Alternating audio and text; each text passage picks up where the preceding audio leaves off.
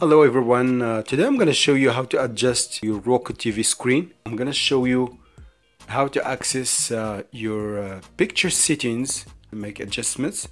So if you are on this screen, you will not be able to access these settings. You will not be able to access it from here. You need to go and open a channel first. You need to open a video like this before making adjustments. Um, once you have a video press the star.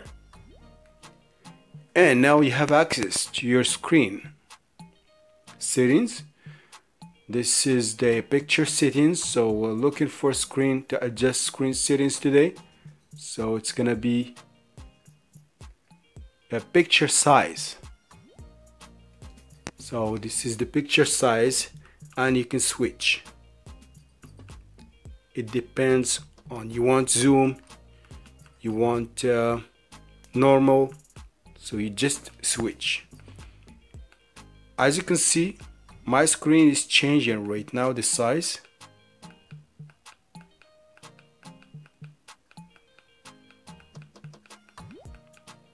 This is for Roku for other devices for other TVs it's different. You just go use your uh, remote control and access settings to make adjustments.